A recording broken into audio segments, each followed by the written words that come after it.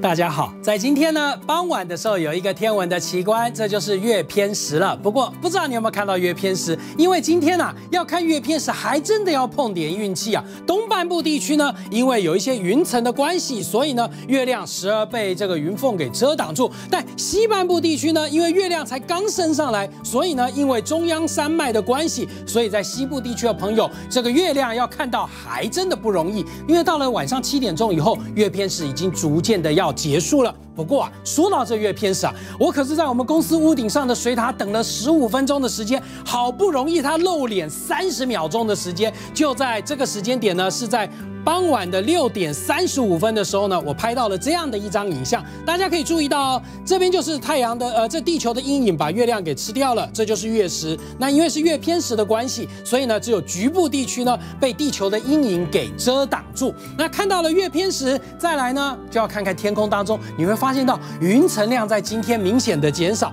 天气状况在今天的时候呢还不错，因为最主要呢，我们的华南云带已经逐渐的离开了，天气好转。那我们就要来看一看中秋假期跟下个礼拜的天气怎么样的变化了。先来讲周休了。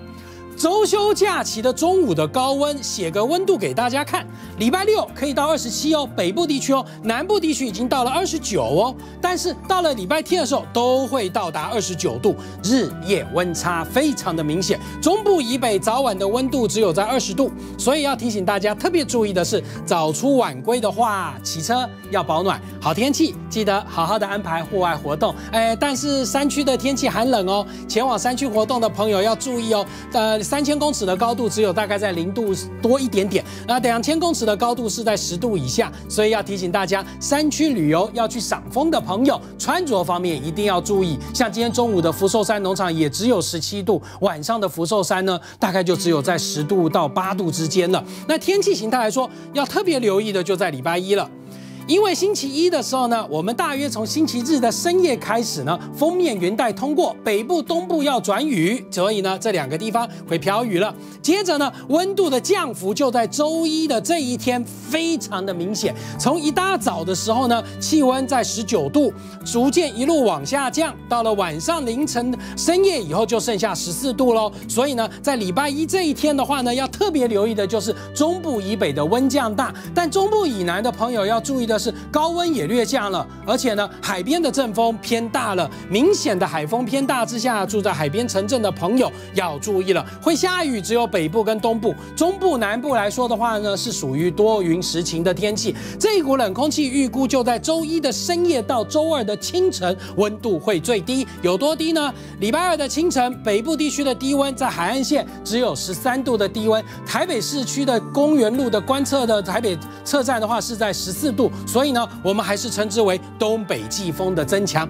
礼拜二这一天，呃，要转为一个干冷的天气，云层量要减少，但你的保暖工作还真的不能少，尤其是长辈朋友跟心血管疾病朋友，在周一到周二这两天都要特别注意呢。礼拜三的时候呢，冷空气开始减弱了，我们的气温状况来说是早晚的部分比较凉一些些，白天的温度是缓慢的开始逐渐的上升，所以呢，在周三、周四夜晚会有些辐。这冷却低温的部分还有在十五度到十六度的低温，到礼拜五温度上升幅度就更明显。那接着就来看一下现在这个时候的为呃雨量图了。我们从雨量图上可以看到，在今天一整天下来，整个降雨的状况最主要就是迎风面有些雨。这个雨啊，就是在今天的早上的时候，风场吹着偏着东北东风进来，华南的水汽最剩下的一些云带东移之下，而造成了一些零星的降雨。晚上的时候，在东半部地区会有些降雨。雨机会出现，因为从雷达上面就可以注意到外海有些云层，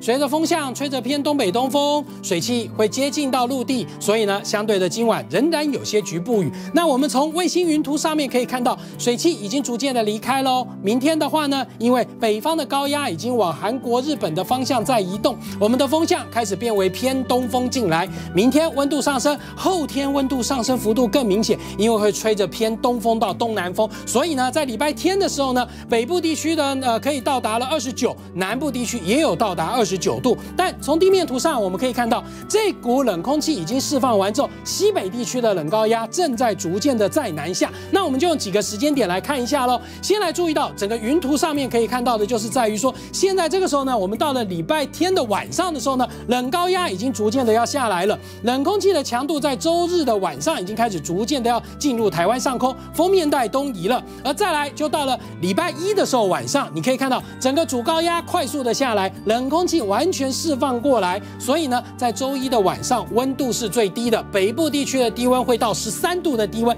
要提醒长辈朋友跟心血管疾病朋友穿着方面要注意喽。那我们接着就来看什么呢？看看这周休假期的天气会是如何了。先来看到礼拜六的各地的温度喽，可以注意到温度形态来说呢，在晚上的温度有点凉意，白天的高温北部地区可以到二十六度，而，新竹苗栗以南已经到二十七七、二十八喽。中部地区的日夜温差可就是非常的明显，而到了南部地区的话，中午暖，不过要注意的就是南台湾地区的空气品质相对的会比较偏差一些，东台湾地区早晚会有些零星的短暂雨。那到了外岛地区的话呢，早晚温度还是比较偏凉，好天气在六日两天，接着呢，到了礼拜一强冷空气下来，礼拜二的凌晨温度最低，周三、周四气温的话状慢慢的回升，你可以注意到中部以北只有十四到十三度的低温，外岛的马祖那，在周一晚上的时候到周二前只有十二度哦。小叮咛，两件事情要提醒，呃，高山夜晚冷，山区旅游活动穿保暖，还有早晚骑车的朋友穿着方面也要注意。